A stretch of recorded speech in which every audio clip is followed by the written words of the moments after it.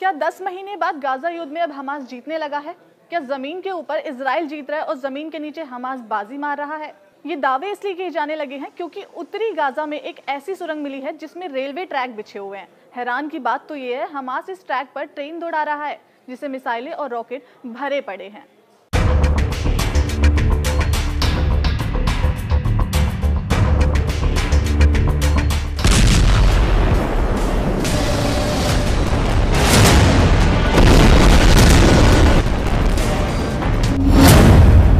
सुरंग में bullet train Hamas ने पलटा युद्ध। लगभग 11 महीने से इजरायली सेना पूरी गाजा में भयंकर हवाई और जमीनी हमले कर रही है। लेकिन इसके बावजूद हमास इजरायली सेना पर ज़बरदस्त पलटवार कर रहा है।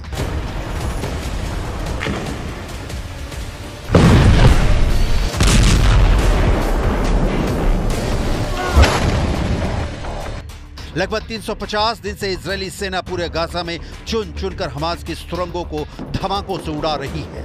लेकिन उसके बावजूद हमास के सुरंगी लड़ाके इजरायली सेना, टैंक, बुलडोजर और बख्तरबंद वाहनों पर भयंकर हमले कर रहे हैं।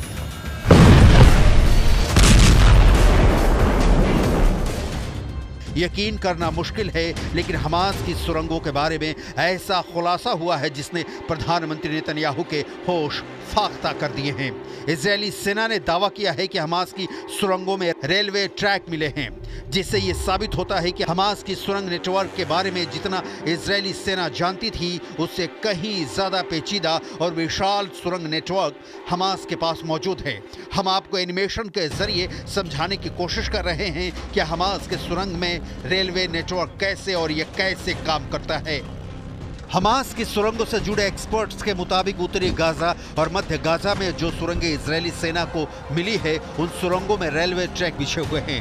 दावों के मुताबिक रेलवे ट्रैक वाली इन सुरंगों में चलने वाली दो से तीन बॉगी वाली ट्रेनों में मिसाइल और रॉकेट भरे हुए हैं। दावा किया गया है कि इन सुरंगों में हमास के कमांड सेंटर मौजूद हैं। जहाँ से हमास के सुरंगी लड़ाके सुरंग से निकलकर इजरायली सैनिकों और टैंकों पर भीषण हमले कर रहे हैं। कुछ दावों के मुताबिक हमास की सुरंग में एक से लेकर तीन किलोमीटर तक रेलवे ट्रैक बिछे हुए हैं, जिन पर हमास की बुलेट ट्रेन चलती है। सिनवार निकला शातिर, सुरंग से बुलेट युद्ध।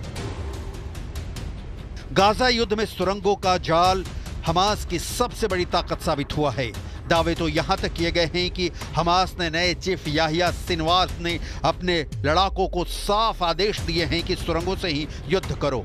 सुरंगों से इजरायली सेना को ट्रैप में फंसाओ। खान यूनुस के कसाई के नाम से कुख्यात सिनवार को सुरंग युद्ध में बेहद माहिर माना जाता है। यही वजह है कि जब से सिनवार हमास का चीफ बना है, तब से इजरायली सेना पर सुरंगों से हमले बेहद तेज हुए हैं। जरा हमास की तरफ़ से जारी इस वीडियो को देखिए, जिसकी हर तस्वीर में इसराइल के टैंक और सैनिकों के चीथड़े उड़ते दिख रहे हैं। हमास के वीडियो में साफ़ देखा जा सकता है कि हमास के लड़ाके बारूदी सुरंगों और बम को इसराइल के मरकावा टैंक के नीचे लगाकर उसे उड़ा रहे हैं। इसराइल के टैंकों से महज 10 से 20 मीटर दूर मौजूद सुरंगों में मौजूद हमास लड़ाके रफा में इसी तरह से रॉकेट लॉन्चर से इजरायली सेना पर हमला कर रहे हैं। गौर करने वाली बात है कि रफा में इस वक्त हमास की केवल चार बेटालियन ही बची होने का दावा किया गया है, जो इस वक्त रफा में इसराइल पर हमला कर रही हैं।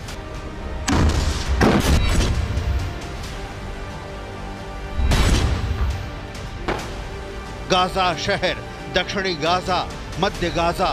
रफा और खार यूनूस में इसराइली सेना 10 महीनों से 90 फ़ीसदी से ज़्यादा सुरंगों को उड़ाने का दावा कर रही है। लेकिन हैरानी की बात तो यह है कि इसराइली सेना की नाक के ठीक नीचे हमास सुरंगों से आसानी से हमले कर रहा है।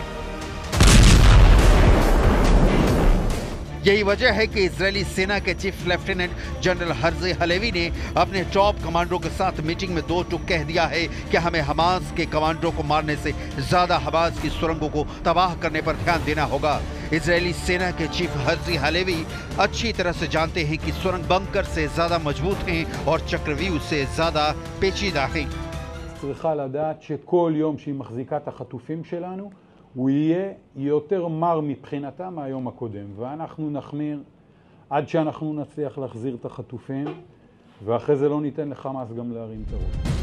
कुछ दावों के मुताबिक 15 साल में हमास ने अंडरग्राउंड गाजा मेट्रो बनाया है एक समय इजरायली एक्सपर्ट ने यह अनुमान लगाया था कि पूरे गाजा में सतह से 15 फीट से लेकर 200 फीट नीचे तक करीब 300 मील लंबी सुरंगें हैं मगर उनका यह अनुमान उस वक्त गलत निकला इजरायली सेना के कोगाजा में ढाई मील लंबी सुरंगें मिली हैं, जिसमें विशाल अंडरग्राउंड फैक्ट्रियाँ पेंट की हुई सुंदर दीवारें टाइल्स वाली फर्श सीलिंग फ़ैन और एसी समेत लग्जरी भूल भुलैया का पता चला है।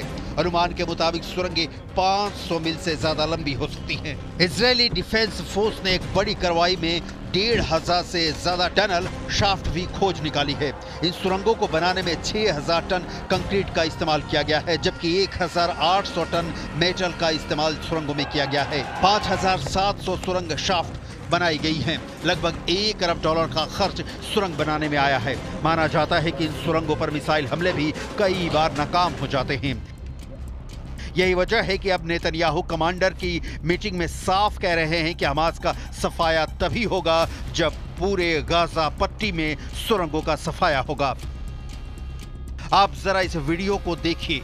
खुद नेतन्याहू नक्शे पर समझा रहे हैं कि कैसे गाजा युद्ध इसराइल के वजूद के लिए चैलेंज बन चुका है। गाजा बॉर्डर मिश्र सीमा, कैसे इसराइल के लिए जी का जंजाल बन चुका है। आप इसे हमास के गाजा मेट्रो से समझ सकते हैं, जो सुरंगों का ऐसा नेटवर्क है जिसने 11 महीने की जंग के बाद भी इसराइली सेना समझ नहीं पाई है। हमास की सुरंगों से जुड़े इजरायली एक्सपर्ट के मुताबिक सुरंगों के जाल को समझने और समझाने के लिए हमास ने एक हैंडबुक बना रखी है, जो हमास के सुरंग लड़ाकों को दी जाती है। इस हैंडबुक के आधार पर सुरंग का सिस्टम काम करता है। अगर इजरायली सेना सुरंग के दरवाजों को खोलती है तो उसमें ऑटोमेटिक बम धमाके होते हैं, जिससे इजरायली सैनिक कई बार मारे जाते हैं। हमास के हैंडबुक के मुताबिक, सुरंग पर इजरायली मिसाइलों का मामूली असर होता है। कभी कभी मिसाइलें बेअसर साबित होती हैं। आईडीएफ को उत्तरी गाजा के नीचे बिछी सुरंग के अंदर रेलवे ट्रैक मिला है। आईडीएफ के मुताबिक गाजा डिवीज़न, उत्तरी गाजा ब्रिगेड और याहलोम यूनिट के इंजीनियरिंग सैनिकों ने हमास ट्रेन का पता लगाया है। दावा किया गया है कि हमास हैंडबुक में सुरंग ऑपरेशन की पूरी जानकारी दी गई है। रिपोर्ट के मुताबिक हैंडबुक में बताया गया है कि सुरंग के अंदर अंधेरे में चलते समय लड़ाकुओं को इंफ्रारेड से लैस नाइट विजन, चश्मे की ज़रूरत होती है। लड़ाकों को भूमिगत नेटवर्क के भीतर हथियार चलाने के तरीके के बारे में सावधानी बरतनी होती है। ये भी हमास हैंडबुक में बताया गया है। टनल बैटल स्ट्रेटजी के ज़रिए हमास हैंडबुक में इजरायली मिसाइलों को तबाह करने का प्लान तक बताया गया है। हमास के हमले का ये वीडियो देखिए। इन वीडियो में हमास ने इजरायली सेना पर हमले का दावा किया है। गाजा में तेल अल हवा इलाके में इजरायली बुलडोजरों और सैनिकों को हमास ने तबाह किया है।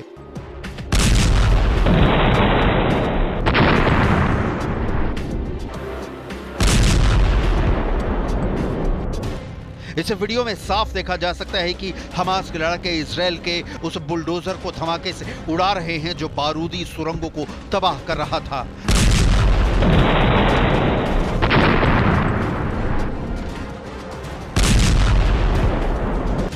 हमास के लड़ाके सीधे सीधे पीएम नेतन्याहू को चेतावनी दे रहे हैं कि गाजा में इजरायली सैनिकों का कब्रिस्तान बन जाएगा और हमास हर हाल में गाजा जंग जीत लेगा।